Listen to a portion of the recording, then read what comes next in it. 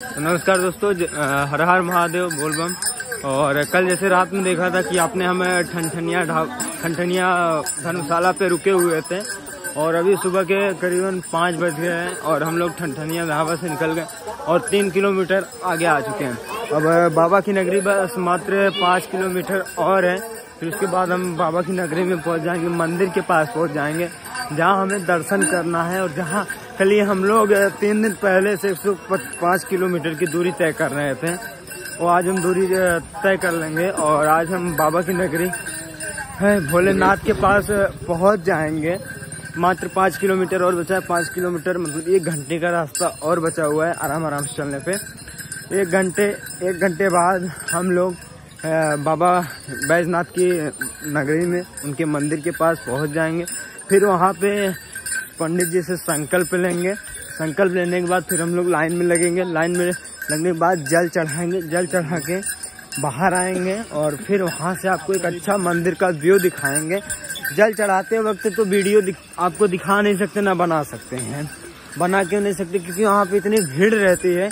आप अच्छे से मतलब जल भी ना आपको फेंक के आना पड़ेगा वो शिवलिंग के पास। आप सोचो बढ़िया से लोटा से चढ़ा दें तो लोटा से नहीं चढ़ा पाओगे। और डिब्बे में ही चढ़ा के फेंक के आना पड़ेगा? और फिर मान लो लाइन में लगेंगे तो आपको दिखा देंगे, लेकिन शिवलिंग शिवलिंग के पास नहीं दिखा सकते हैं। बाहर आएँगे, टीवी में से आपको शिवलिंग ऑनलाइन दर्शन करा देंगे। और, अभी चलिए, चलते हैं, पाँच किलोमीटर और बाकी है। रास्ता आपको दिखाते हैं कि बिहार से कितनी बढ़िया सुविधा झारखंड में होती है। वो दिखाते हैं, और फिर बाबा की नगरी बैजनाथ के पास मिलते हैं। देखिए, सब लोग आगे चल रहे हैं और इधर का रास्ता देखिए। और बिहार से अच्छी यहाँ पे पैर भी जो है ना गड़ नहीं रहे, क्योंकि बालू अच्छी बिछाई गई है, एकदम व्यवस्थित। और आगे का देखिए, यहाँ पे रास्ते रास्ते में दुर्गा माता की मूर्तियाँ लगाई रहती हैं। दुर्गा माता, गणेश जी, कार्तिकेय जी, लक्ष्मी माता। शिव जी, पार्वती जी की सबकी और देखिए ये मसाज करने वाली मशीन है। अगर आप पैसा देंगे तो आपको पाँच मिनट मसाज करेगी। बाकी चलिए। चलते हैं बाबा की नगरी। बस पाँच किलोमीटर और रह गया है। घर निगम आपका स्वागत करता है बाबा की नगरी। तो यहाँ से मंदिर मात्र तीन किलोमीटर की दूरी पे है। और अब चलते हैं बाबा के नगरी। बाबा का दर्शन करते हैं। तो देखिए, अभी हम लोग शिव गंगा शिव गंगा स्थान पर पहुँच चुके हैं नहाने के लिए। अब यहाँ से नहाएँगे, फिर बाबा धाम जाएँगे, जल चढ़ाएँगे। तो यहाँ पे देखिए शिव गंगा स्थान, और जहाँ हम लोग रुके हैं, वो बाबा का नाम है ट्रांसफार्मर बाबा। ट्रांसफार्मर बाबा के पास रुके हैं, यहाँ से नहाएँगे, संकल्प लेंगे, फिर आगे दर्शन करने के लिए जाएँगे। इधर देखिए अभी आठ बजने आठ बज गए हैं, और हम लोग लाइन में बैठे हुए हैं। बाबा धाम का दर्शन करने के लिए।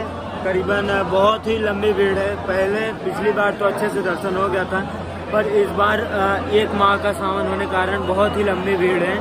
देखिए, भीड़ बहुत दम कस के लगी है। ऐसे ऐसे छः सात रूम भर गए हैं लाइन से लगे हुए, और भीड़ बहुत ही बहुत ज़्यादा है। अब, देखिए, हम लोग का दर्शन कब होता है? दो घंटे, तीन घंटे, चार घंटे में कब दर्शन होता है? एक बार आपको बैक कैमरे से भीड़ दिखाते हैं। ये देखिए भीड़ पूरी। ऐसे ऐसे हम लोग बैठे हुए हैं अपने अपना जल ले लेके।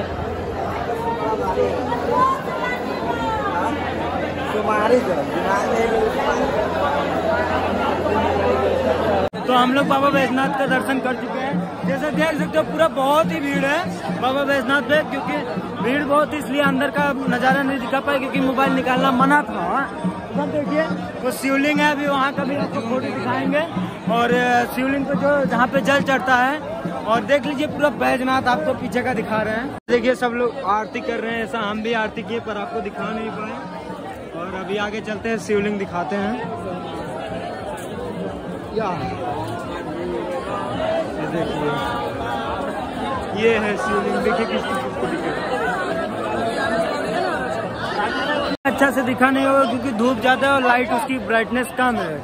तो अभी चलिए, एक बार आपको पूरा बैजनाथ मंदिर दिखाते हैं। ये देखिए बैजनाथ मंदिर कितना भीड़ है, जबकि आज रविवार है। सोमवार को और भीड़ होती होगी, ये देखिए।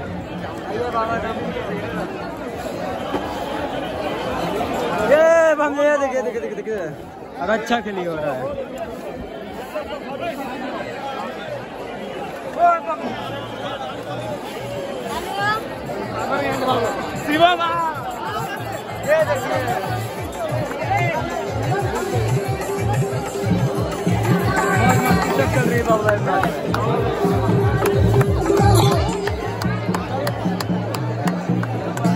देखिए, अब हम लोग बाहर जा रहे हैं क्योंकि यहाँ पे भीड़ बहुत है और खड़ा होना भी मना है। भैया कहाँ गए?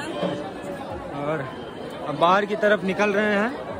बाबा वैद्यनाथ का दर्शन हो गया आज। बड़े नसीब से दर्शन हुआ। और अब बाहर की तरफ़ निकलते हैं। प्रसाद लिए हैं बाबा वैद्यनाथ का। ये है प्रसाद।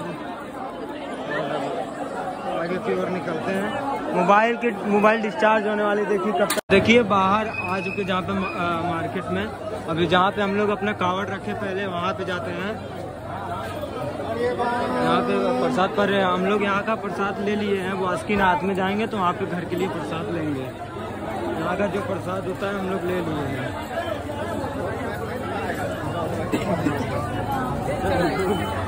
ये मोबाइल भी चार्ज कम है और मोबाइल का स्टोरेज भी फुल हो रहा है। तो हम वासुकीनाथ जाके और आपको वासुकीनाथ का अच्छे से दिखा देंगे।